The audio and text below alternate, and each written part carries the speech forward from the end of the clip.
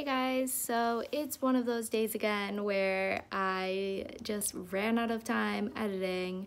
I am currently exporting and uploading the video for today, so hold out. It's going to be a little late, but it is going to be up tonight.